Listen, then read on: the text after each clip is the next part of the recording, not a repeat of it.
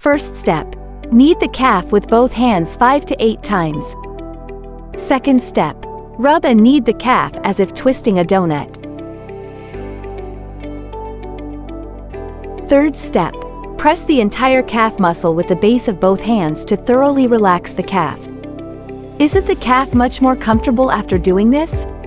Fourth step. Use the base of our hands to knead and press the area behind the knee with slow and deep pressure. Then stretch in the opposite direction with both hands to relax the calf. Fifth step. Use the knuckles of both hands to push the entire calf muscle area, relieving stiffness and soreness. Then pull it back to the ankle area. Sixth step. Use the arms to relax, push up, and then press down again. Repeat 5 to 8 times. After that, use our elbow to press the Weizhong point on the calf.